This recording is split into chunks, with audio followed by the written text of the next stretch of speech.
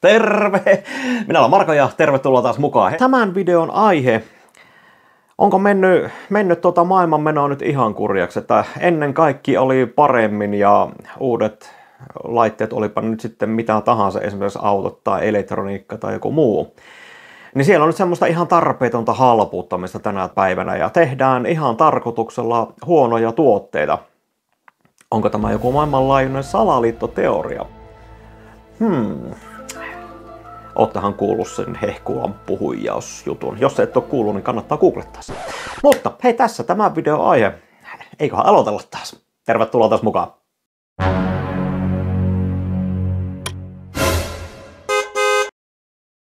Niin, tässä tämä video aihe. Eli tota, oliko kaikki ennen paljon paremmin? Niinhän sitä sanotaan, että ennen kaikki oli paremmin, vai onko nyt sitten oikeasti vain muistot kultaantuneet? Pistetään tähän väliin semmonen pikku klippi. Se on hyvä auto. Toyota kestää. Minä olen aina ajanut Toyotalla. Olihan sulla se Mersukin. Paska auto. Joo, tässä ehkä yksi semmonen esimerkki siitä, tai ainakin semmoisen käsityksen saattaa äkkiä saada, kun keskustelupalstoja lueskelee, että, että tuota, vanhan liiton Toyotat oli kaikista parhaimpia, ja no, tämä klipin kaveri nyt sitten oli sitä mieltä, vanhempi herrasmies, että Mersu oli sitten vähän niin kuin huono auto. Mutta, mutta itse asiassa tässä tämä videon aihe nyt tuli siitä, kun tuossa eräs tuttu, sillä semmoinen autoprojekti nyt valmistui ja se oli semmoinen vanhempi Mersu, semmoinen W124. Ja, ja onko nyt sitten uudet autot, Mersut, Toyotat, niin tapahtunut jotain radikaalia niissä, kun ennen hän ne tuntui kestävän maailmanloppuun asti. Etäpäs nyt, miten se nyt menee? W123, 124, 140 S, Tenava tahti, 201 vai mikä se nyt se koodi sillä oli. Niin, niin tota, mikä siinä oikein on, että näitä vanhoja autoja edelleenkin haalitaan ja keräillä ja niitä laitetaan kuntoon, vaikka ne olisi vähän niin kuin päällepäin aika raffissa kunnossa. Mutta jokuhan siinä on oltava, miksi niitä vanhoja autoja, ää, ainakin semmoisessa kestävän auton mainessa olevia autoja sitten haalitaan ja keräillään. Sama juttu tietysti Toyotan kanssa. Vanhat korollat, vaikka ne nyt ei ajo-ominaisuuksiltaan ollut mitenkään kovin kummasia, niin ne vaan jakso ja jakso ja jakso. Tekniikka jakso oikein niin kuin siihen malliin, että niitähän jossain vaiheessa, ja liikkö edelleenkin rahdataan ihan Afrikan maalle. Ihan sama, vaikka lattiasta näkyy läpi, niin eh, ihan yksi haileja. Mutta mulla on semmoinen muistokuva, että sitten kun niitä Afrikan Toyota, tai mitä nyt sinne halutaan, niin, niin, niin ne olisi sitten niin syytä olla kaaserilla tai sitten, sitten jotain tiettyä ruuskuversiota. Parilta tutultakin yritin kysellä vähän, kun ne jossain vaiheessa harrasti sitä, että ne jollekin jopparille niitä Toyotoja ja Corolla ja sun muuta jostakin haalivat ja niin, niin ne oli vähän sitä mieltä, että kaaserillakin sai olla ja sai olla ruiskulla, mutta, mutta joku tietty moottorityyppi se oli semmoinen niin sanottu suosittu, mutta Anyways, niin tota, mikä siinä tuommoissa vanhassa autossa nyt sitten oikein on, että, että tuota, jos niin verrataan uuteen? No yksi juttu on varmaan siinä, että uusiin autoihin on tullut tosi paljon kaikkea ää, uutta tekniikkaa. Puhutaan tietotekniikasta, elektroniikasta, mitä aikaisemmin ei ollut. Ja sitten tietysti kolariturva, turva, kolariturvallisuus on varmastikin parantunut, eli jos uudella autolla ajat kolari, niin todennäköisesti jäät kyllä paljon paremmin henkiin. Ja sitä myötä tietysti paino on varmaan kasvanut näissä uusissa autoissa, se onkin varmasti kasvanut, että joku no sanotaan vaikka joku kolmoskopa eskortti, etuveto eskortti, ensimmäinen etuveto eskortti, niin sehän oli tuhannen kilo auto, taisi olla 800 kiloa. Ja, ja tänä päivänä, kun menet Fiesta vaikka ostamaan, mikä on suurin samankokoinen ish-auto, en tiedä saako enää uutta Fiesta, mutta jonkun aikaa niitä vielä ilmeisesti myydään, niin, niin sehän on jotain 1200-1300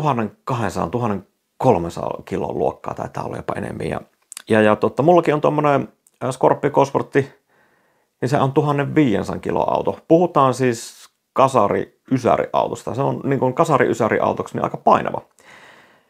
Ja, ja Mersussahan ihan sama juttu, että ei ne ihan kevyitä autoja ollut, mutta Mersu on aina ollut sillä tavalla, niin pitkään kuin minä muistan, niin turvallisuusorientoutunut firma, kuten myös Volvo kanssa.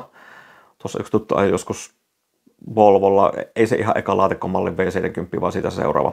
Niin semmoisella täräytti niin hirven kanssa näin ja tuota, autosta ulos. Ja, jaa, missä sitä ollaan? Kaveri käveli autosta ulos ja sitä rataa, niin kyllähän se ehkä jotain kertoo sitä Volvon turvallisuudesta. Niin on tiettyjä automerkkejä ja malleja ollut aina, mitkä on ollut turvallisia ja sillä tavalla selvity niistä, niin ehkä siinä on myös semmoinen juttu, miksi niitä sitten edelleenkin haalitaan.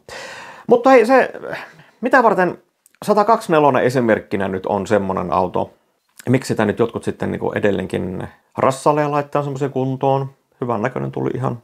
Terveisiä vaan Juha, jos satut katsomaan.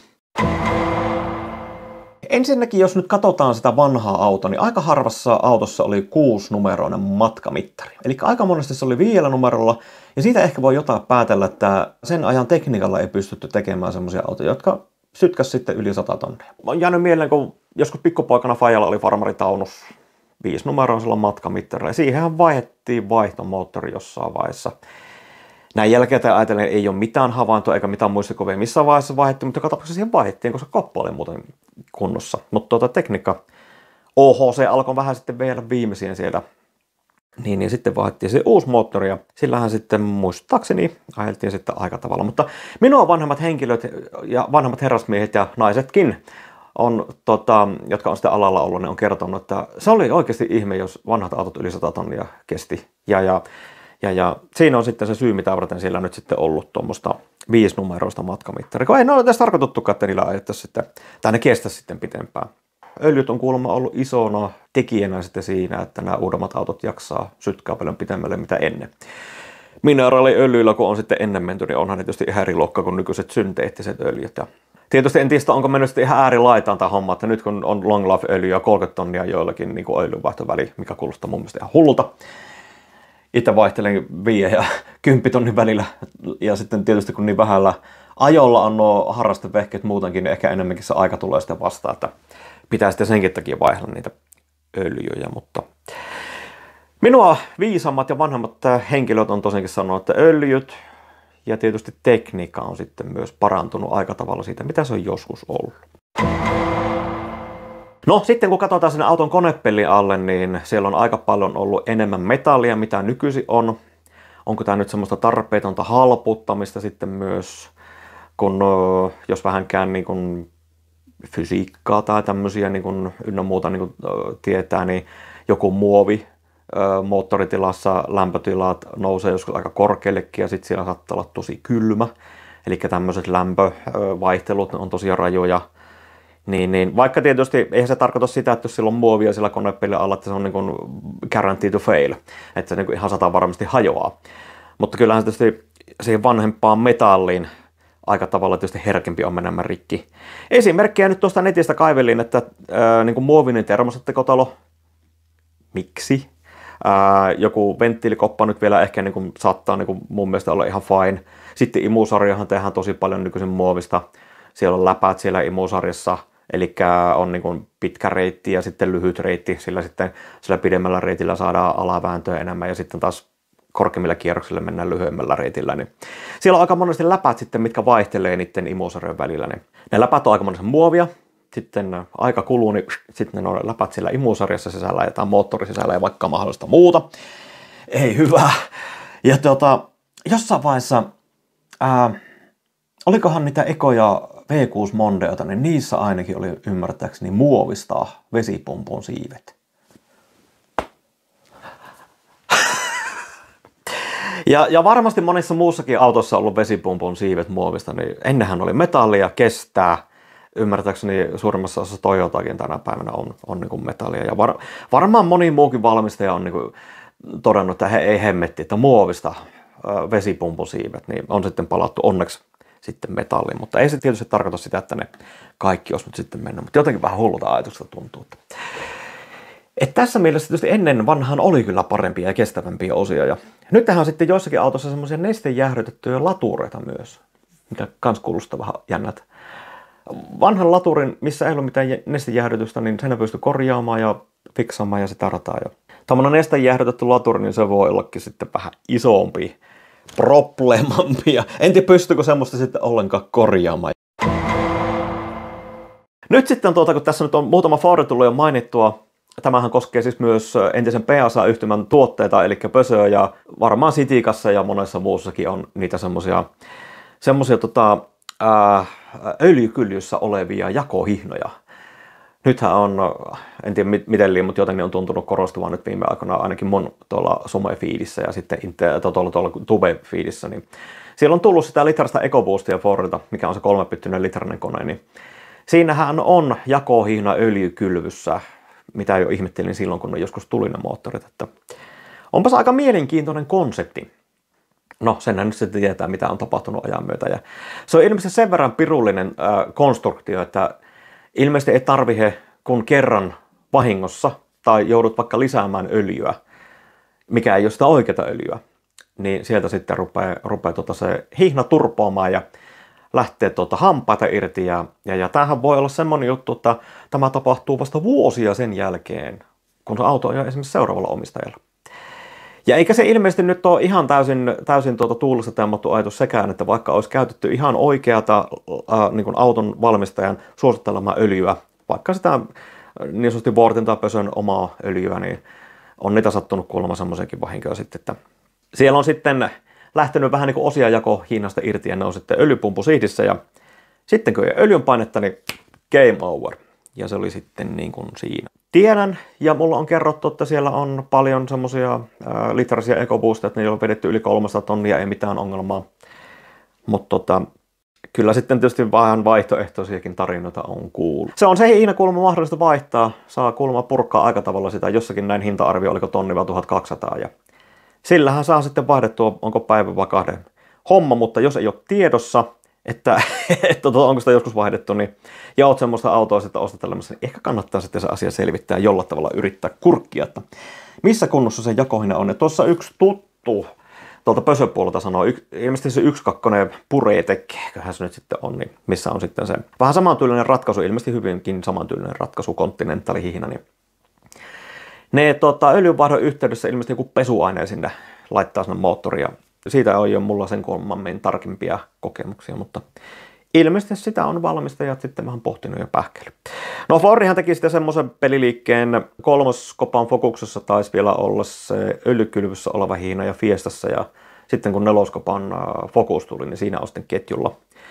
Sen moottorin tunnistaa siitä, kun siellä on imu ja pako sitten erinpäin siinä kannessa, se kansi on niin toisinpäin. Mutta jos nyt olen ymmärtänyt oikein, niin siellä on öljypumpun hihna vielä sillä hihnalla. Että, että. Aika näyttää sitten, mitä ne kestää. No, nyt sitten kun tässä on ollut pitkiä aikoja kunnon pakkasia, niin äh, on tullut tämmönen juttukin kuin dieselautoissa, tämä AdBlue. Niin, niin, se on kanssa aika tavalla aiheuttanut ongelmia. Ja, ja se ilmeisesti rupeaa kristalloitumaan jotenkin 10 pakkasasteen jälkeen. Siihen on ilmeisesti joku jääestö aina olemassa – mutta, mutta kun joku neste sitten jäätyy, niin se aika monesti poksauttaa sitten jonkun linjan sieltä hajalle ja sehän se on sitten kanssa. No hei, mitä varten aikaisemmin nyt sitten joku, esimerkiksi vesipumppu on ollut metallia ja nyt sitten enää ei ole. Ja miksi sitten uskalletaan tehdä tuommoisia jotakin tiettyjä osia muovista, niin ennen ei ollut samanlaisia tietokonesimulaatioita – ei ollut mahdollista tehdä semmoisia kuin tänä päivänä. Eli pystytään tietokoneella simuloimaan, mitenkä joku osa kestää tai ei kestä. Sillä tavalla sitten pystytään paremmin simuloimaan. Näin simuloinnit tietysti onnistuu vähän paremmin joskus ja joskus ehkä sitten jotain vähän huonompaa tota, tuuria sitten niiden kanssa joku esimerkiksi miniistä nyt tulee mieleen, että siellähän on sitten semmoista termostattekoteloa ollut ainakin jossakin mallissa moottorin yhteydessä, että ei niin järi hyvin ole kestänyt, niitä on hajonnut sitten takuaikanakin, mutta ennen kuin ei ole tuommoisia tietokonesimulaatioita ollut, niin on pitänyt valmistaa ja jättää enemmän pelivaraa siihen osaan. Ja ehkä sen takia ne sitten on vähän kestävämpiä ollut. No miksi tämmöistä jatkuvaa halpuuttamista tai sitten äh, jatkuvaa semmoista äh, tuota, hinnan vahtaamista ja jahtaamista tämä on, että osien kanssa on ollut? Että jos joku osa nyt pystytään tekemään edullisemmin ja kevyemmin, niin totta kai valmistaja tekee sen. Ja, ja siinä on myös semmoinenkin juttu sitten, että jos ei pysy kilpailussa mukana, kilpailija rupeaa tekemään edullisempia osia, jotka nyt sitten kestää ja sitten joku toinen valmistaja ei välttämättä tee, niin sitten se auto A maksaa vähemmän ja auto B maksaa vähän enemmän. En tiedä, onko tämä hyvä esimerkki, mutta Saabhan oli aikoinaan semmoinen, että ja niin kuin vanhemmat Mersut kanssa, että ne oli sitten niin over engineering autoja oikein viimeisen päälle. Ja nämähän maksoi aika tavalla enemmänkin.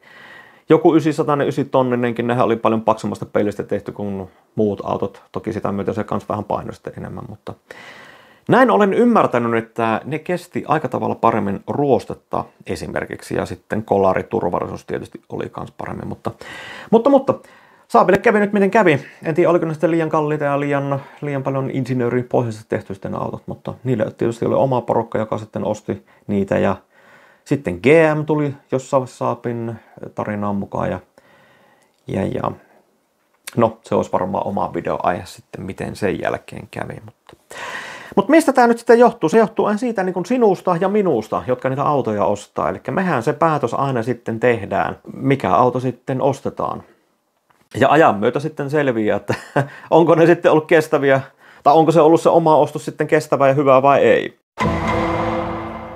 Ja, ja tietysti nyt sitten vähän ehkä tämmöisen aasisillan kautta päästään näihin takuaikoihin. Eli jos ostat uuden auton, niin monessa saksalaisessa autossa on vain kaksi vuotta takuuta mikä on nyt kummastuttanut kyllä tässä aika tavalla ja herättänyt aina silloin tällöin keskustelukin noissa kommenttikentissä. Että siellähän Kia ja Hyundai, siellä on viittä ja seitsemän vuotta takuuta ja aika monessa muussakin autossa on viisi vuotta takuuta.